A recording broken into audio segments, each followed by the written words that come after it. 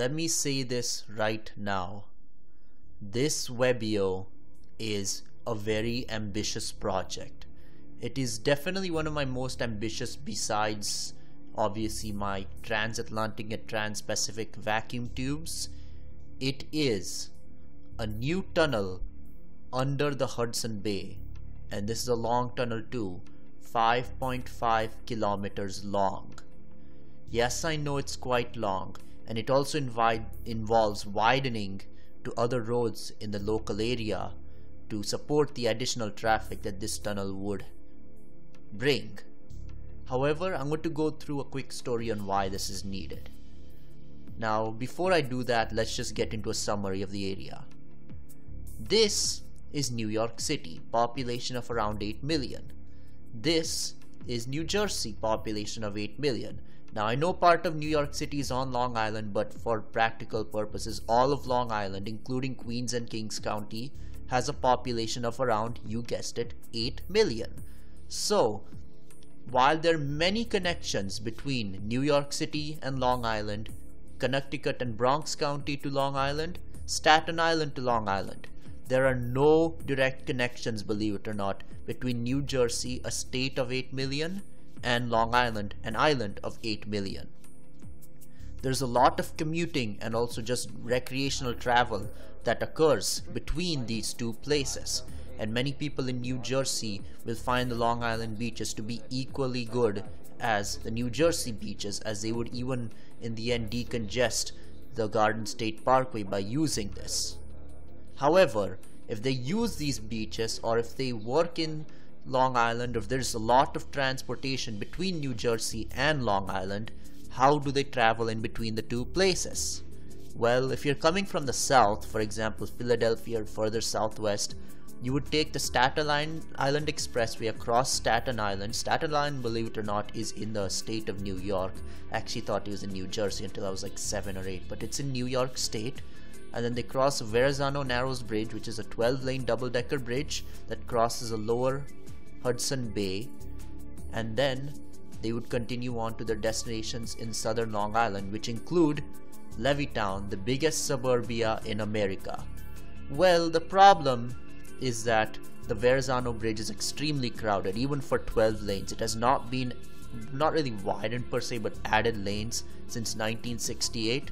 So that's not really a viable option if you want to get there quickly. Now, if you're going to northern Long Island, how do you go there? Well, you take the New Jersey Turnpike all the way up towards the George Washington Bridge, cross through Upper Manhattan, and go on the Cross Bronx Expressway. All of this here is ridiculously choked. It would probably take you an hour to get from the Interstate 80 interchange to the interchange with 278, 678, and 495. Not 495, 295 but this would take an hour. It's barely like 6 or 7 miles. And then you could go on the Throgs Neck Bridge, which I actually proposed a second span on a couple Webeos back. And then this would take you to, towards northern Long Island. If you're going to central Long Island, most people would still take the GW Bridge if they're going to the more easternly parts, for example, Nassau and Suffolk County. However, if they're going to Queens, especially western Queens, they would try to go on the Lincoln Tunnel and cross through Manhattan and go on the Queens Midtown Tunnel both of those tunnels are ridiculously choked. So what I'm trying to say is all the crossings of the Hudson River are very old and very overclocked. So I was proposing why not directly connect New Jersey with Long Island? This segment here, if it's constructed, would remove a lot of traffic coming from western and southern New Jersey towards Long Island as they won't have to go through all these other weaving and going up and down through all these different roads.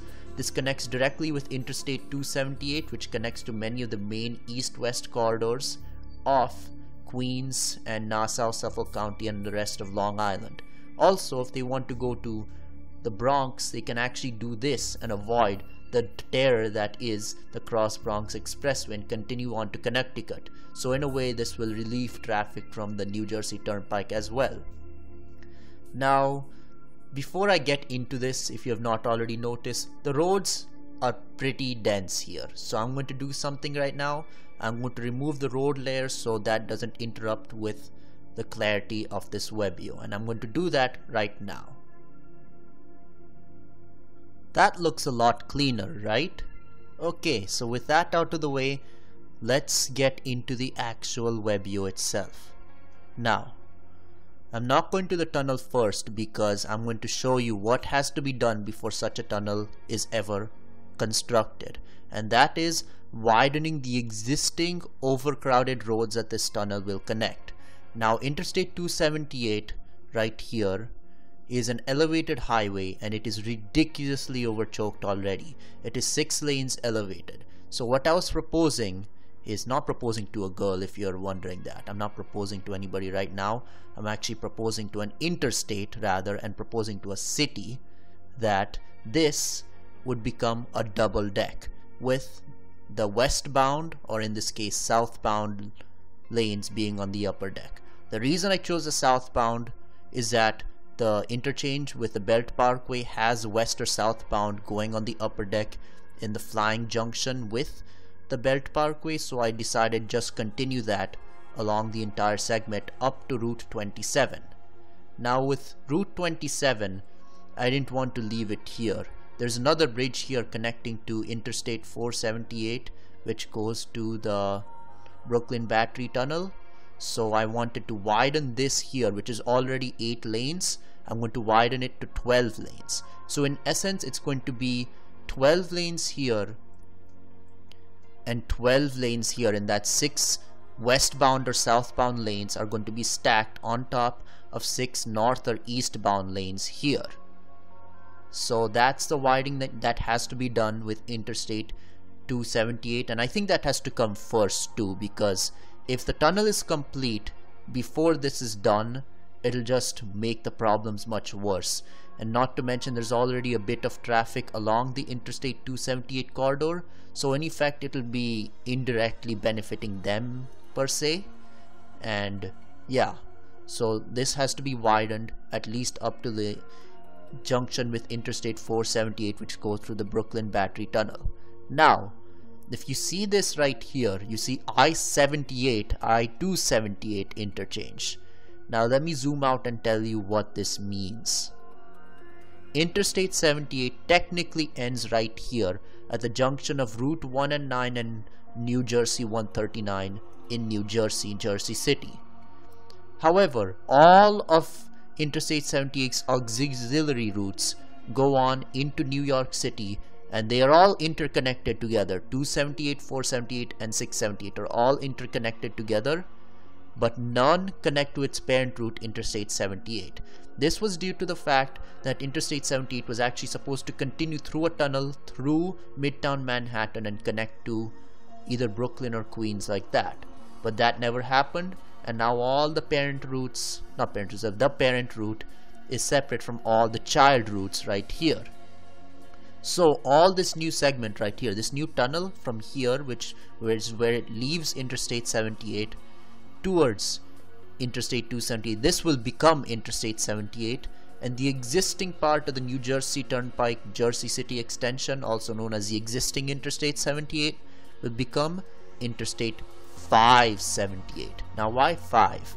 I generally use even numbers when naming new auxiliary interstates, but this is more of a spur. I call this a Jersey City spur because it does not connect directly to any existing interstate or highway for that matter, so this is a spur going to lower Manhattan. The main Interstate 78 will continue along into Brooklyn like this. So with that out of the way, these flyovers and by the way both of the double decks would be on a flyover above the existing road but these would connect through what is essentially a directional T interchange just elevated. This building here will have to be destroyed. This is one of the few Webeos that buildings will have to be destroyed but I think the overall benefits will outweigh the costs. It'll go through what is an abandoned navy yard and turn here. There is no toll gantry here. That will be on the New Jersey side and then it'll enter. This is six lanes entering the tunnel and this is a 5.5 kilometer long tunnel. I'm going to kind of break the rules now and speed faster than what I plan the speed limit to be of 45 miles per hour but anyways that brings us to the toll gantry. Now if you have seen my other Webeos specifically the Interstate 19 Massachusetts, I made an entire web video of just making the highway electronic tolls. I believe electronic tolls are the future as in good amount of people already use E-ZPass or other similar systems I believe. Florida uses SunPass, California uses something else, and Massachusetts uses Citizens Bank FastPass or something like that. But what I'm trying to say is, there are always those few slowpokes who don't have these prepaid electronic toll units that go on their dashboard. So I'm just making an electric toll gantry right here that allow full speed travel bit through this so that when the ticket is made for the toll it will be mailed. I believe that the price of this tunnel should be around 14 to 15 dollars which is similar to other crossings I know it's expensive but when the other crossings across the Hudson are a similar price you would bet that Port Authority would probably instate a high price on this crossing as well so you may be like that's the end of the Webeo no it is not what do we do on the west side or the New Jersey side. That's even more complicated than what we did on the New York side. So this will go onto a viaduct over the railway yard. So these railway yards should be unaffected. Now this is northbound three lanes, not northbound, westbound three lanes. This is eastbound three lanes. I know it goes like northwest, southeast. Now what happens here and this may take a couple minutes to explain. This is the existing Interstate 78. What I'm planning to do is this is a four lane highway. I'm going to make the two westbound lanes go on along this right here and connect with the three three new lanes coming from the tunnel and go like that and they will create its own carriageway Interstate 78 will have separate carriageways and the existing carriageway will only be used for eastbound traffic like this. Some of it will go on to the existing alignment which will soon become Interstate 578. The rest will continue on to the new flyover here that will go along into the tunnel and into Brooklyn and Long Island. Next I have to explain this green thing. So this green indicates that there's still one westbound lane that connects to New Jersey Route 440 because otherwise this connection would be lost and this is actually a pretty heavily used connection so I believe that it would not be worth to remove it. So it'll be one westbound here, five eastbound. It would be kind of weird but you get the point. So 5 westbound, 5 eastbound, they split into 6 lanes here, 4 lanes here. And then coming from New Jersey 440 north to 78 west this would be destroyed and it would connect to the new segment. Now I do think that 440 could be relocated slightly more to the north. I didn't actually draw it out now but I do think that has to happen to allow 10 lanes or 5 new lanes north of the existing lanes be constructed. Next is the second span of the Newark Bay Bridge the second span. Now this is kind of reminiscent of the Goethals Bridge. They're actually replacing the entire bridge here. But if you remember my second Webeo actually, which was the Interstate 276 and 95 interchange, I proposed a second span of the Delaware River crossing because otherwise it would be too choked with the existing bridge. This is a similar idea right here. The existing bridge has four lanes and two outer shoulders. With the new proposal, this bridge would be the eastbound lanes only, having 5 lanes and one outer shoulder on the right side. The new bridge would also be a similar design, not design per se, but it would be a similar layout. Obviously, it will be a much newer design. The existing bridge is built in the 1950s, so it's getting pretty old.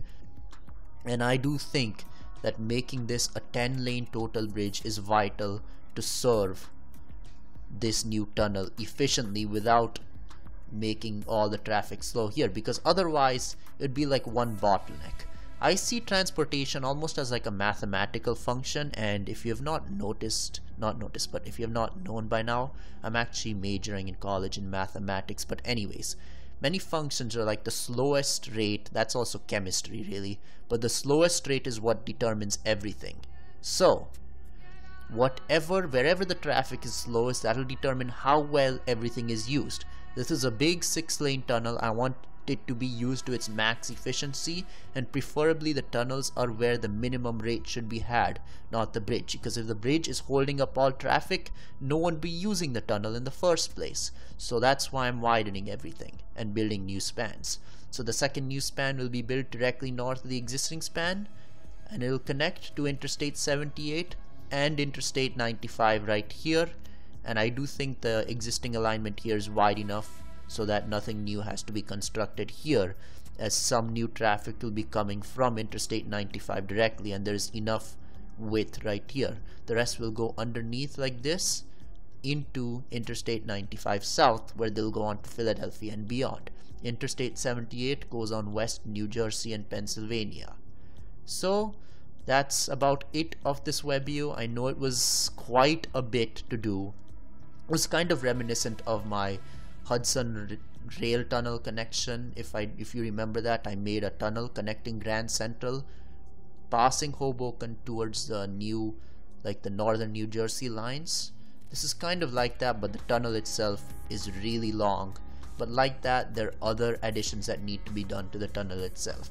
I would never make a Webeo of a single tunnel because that's not that exciting. Uh, and also, there's a lot of other stuff to consider when building something new. Everything you build will have repercussions on everything else in the area. This is why I widened everything. If you just build a new tunnel or a new bridge, but don't care about where they come from or where they go, it won't work that well. That's simple as that.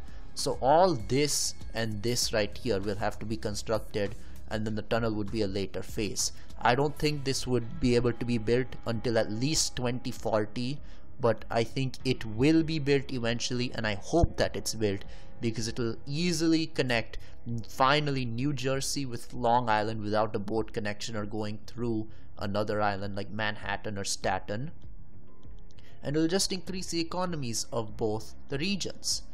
Thank you for watching and goodbye.